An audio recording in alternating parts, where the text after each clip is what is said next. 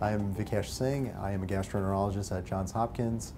I am the director of the Pancreatitis Center, and I am the medical director of the islet autotransplantation program.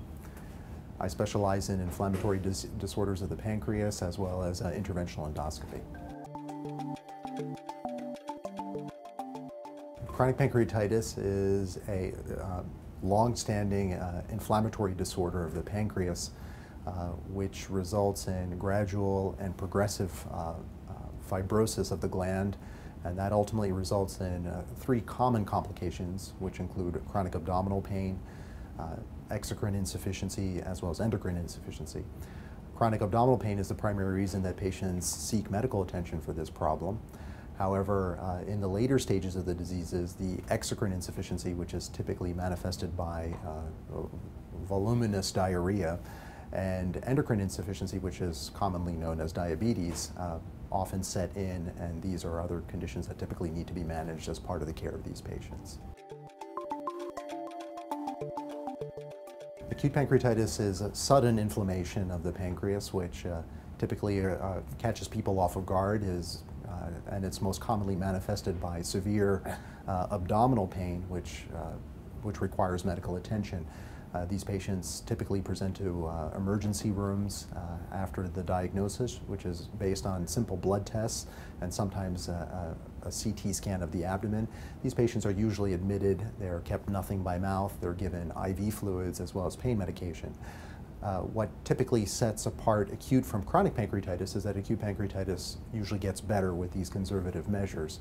Uh, chronic pancreatitis is really what sets in over a longer period of time of continuous bouts of acute pancreatitis.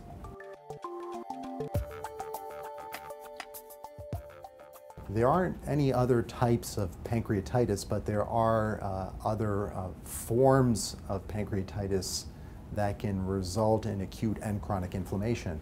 Probably the one we most commonly think of is autoimmune pancreatitis, where the body itself uh, is attacking the pancreas and that leads to not only acute inflammation, but over some period of time that can also cause the changes of chronic pancreatitis. Uh, but other than that, there are no other true pathologic forms of, uh, of pancreatitis.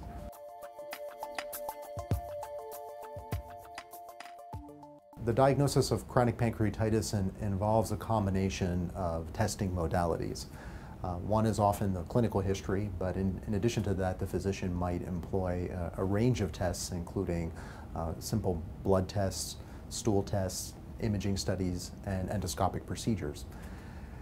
Diagnosing moderate or severe chronic pancreatitis is actually very, very easy. Uh, a simple imaging st study typically reveals changes in the gland which are uh, common for chronic pancreatitis.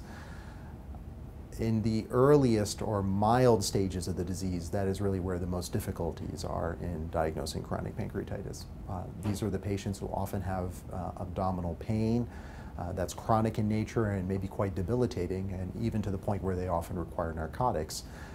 However, uh, pursuing simple imaging studies in these patients usually reveals a normal pancreas. Uh, it is those patients who I think form uh, the greatest challenge for their providers. Uh, and I think that it's those patients who uh, are probably best served by being uh, referred to a tertiary center where they can undergo more complex testing and evaluation in order to figure out whether they might really have mild or early chronic pancreatitis.